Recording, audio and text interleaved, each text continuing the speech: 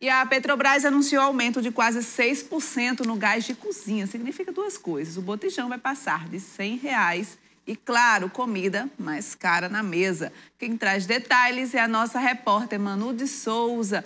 Boa tarde, Manu. Quando é que este aumento vai chegar ao bolso do consumidor?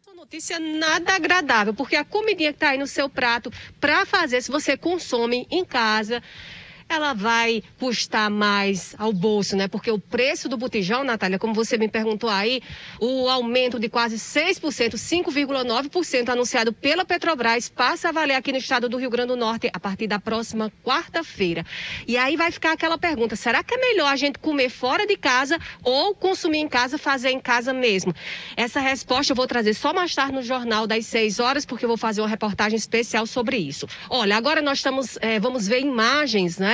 É, do botijão, que vai ficar mais caro aqui no estado do Rio Grande do Norte, variar aí, é, pode chegar a custar, na verdade, cem reais, com aumento o preço médio das distribuidoras do quilograma do gás de cozinha, chega aí a três reais e quarenta centavos, Natália, que representa um aumento, um aumento médio de 19 centavos por quilo.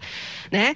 Na última semana também a Petrobras anunciou aí uma redução no preço da gasolina de 2%, mas aí fica por conta o preço, né, repassado para as distribuidoras é um, para o consumidor também é outro, fica por conta dos empresários adotarem ou não essa, essa questão, né? Mas voltando aí a falar sobre o gás de cozinha, o preço do botijão pode chegar aí a cem reais a partir da próxima quarta-feira, portanto, se o seu gás aí em casa já está é, a ponto de faltar, é bom garantir um, a um precinho menor, né? Porque já está bem caro aí o preço do gás de cozinha, mas se você não quiser pagar mais caro ainda, é bom antecipar é, esse gás, porque a partir da próxima quarta-feira, já aqui no estado, em outras capitais do Brasil esse aumento ele já aconteceu, as pessoas já estão sentindo, né?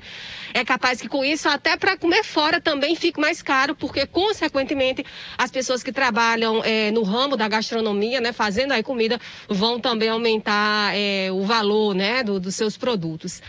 Então, Natália, essa notícia nada agradável é a que eu compartilho, infelizmente, hoje aí com você, porque mexe com o meu bolso, com o seu, com o bolso do consumidor que nos assiste, mas vamos para frente, né? À noite, como eu falei, tem uma reportagem bem interessante para que você, telespectador assinante da TCM Telecom, acompanhe e veja se sai mais em conta comer fora ou continuar fazendo aí a comidinha em casa. Natália?